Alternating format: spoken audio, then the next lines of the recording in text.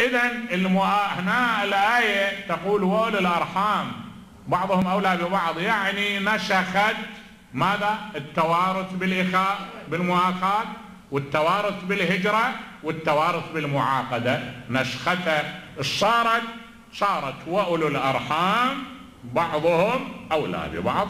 يعني اللي يكون أقرب إلى الميت من غيره ها؟ يحجب الأبعد يحجب الأبعد ولذلك إحنا الآن عندنا فيما يخص إذا ترك المتوفى ولد يعني من الطبقة الأولى يا أبو يا ولد.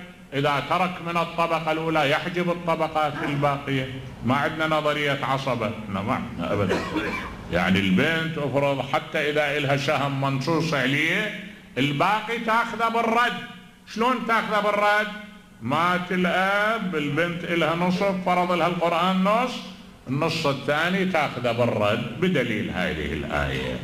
يعني يعطوها خمسين بالمئة من الميراث مفروض إلا فلهن نصف ما ترك ها؟